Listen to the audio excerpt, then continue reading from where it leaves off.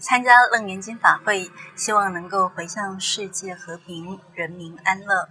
人言经是十卷有六万多字的大部经典。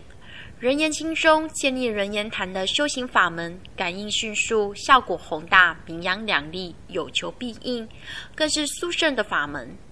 修持人言法门，能得金刚藏王菩萨的保护，而免除水火风三灾、邪魔恶鬼的恶咒毒害等不能侵损。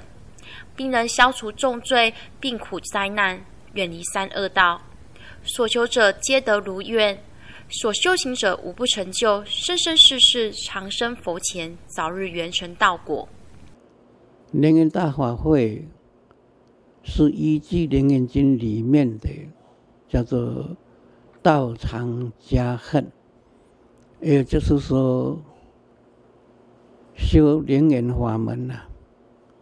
啊如果有能力修的话，从理论上去了悟；啊，如果没有这个能力的话呢，就是要借用这种道场来修行。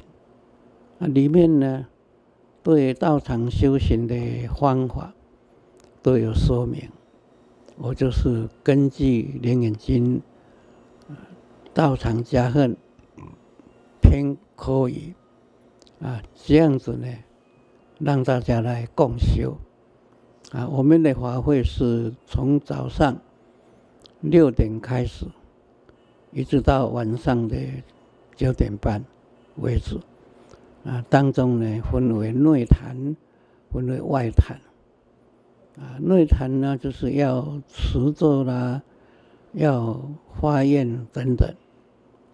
外坛呢，就是要送灵严经，就是以这功德呢，能够让自己能够消灾，也能够超度啊自己的祖先，同时呢，能够把这个功德啊回向给国家啊，回向给社会。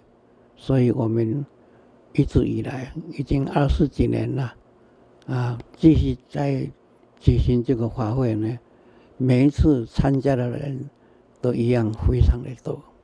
金星长老有鉴于此，民国八十一年在光德寺起建大佛顶首能言名扬两立大法会，遵照师尊在《能言经》中的开示，设立人言坛，恭请高僧大德如法修持，以此功德回向世界和平、人民安乐。参与会者。祸业消除，福会增长。法界新闻廖杰林、许敬义高雄采访报道。